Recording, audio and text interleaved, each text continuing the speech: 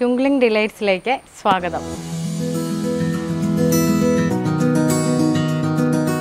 നമ്മൾ തയ്യാറാക്കാൻ പോകുന്നത് ഒരു പൈനാപ്പിൾ ജ്യൂസാണ് പൈനാപ്പിൾ ഒരെണ്ണം മിക്സിയിൽ അടിച്ച് ആവശ്യത്തിന് മധുരവും ചേർത്ത് മിക്സിയിൽ അടിച്ച് വെച്ച രണ്ട് കപ്പ് ജ്യൂസാണിത് ഒത്തിരി വെള്ളം ഒഴിക്കാതെ എടുക്കണം. പൈനാപ്പിൾ ജ്യൂസ് നമ്മൾ തയ്യാറാക്കി വെച്ച ജ്യൂസ് നമ്മൾ മിക്സിയിലേക്ക് ഒഴിക്കുകയാണ്. തരിയൊന്നും ഇല്ലാതെ നന്നായി അരിച്ചെടുത്ത ജ്യൂസാണ്.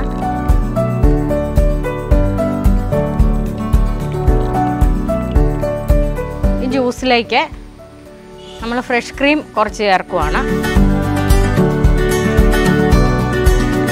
ഈ ബോട്ടിലിന്റെ പകുതി പകുതിയോളം മതിയാവും.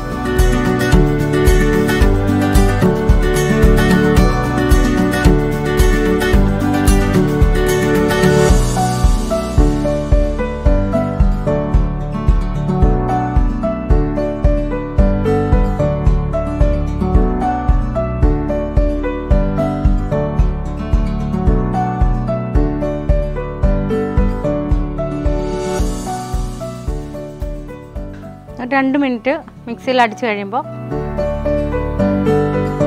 Special pineapple juice ready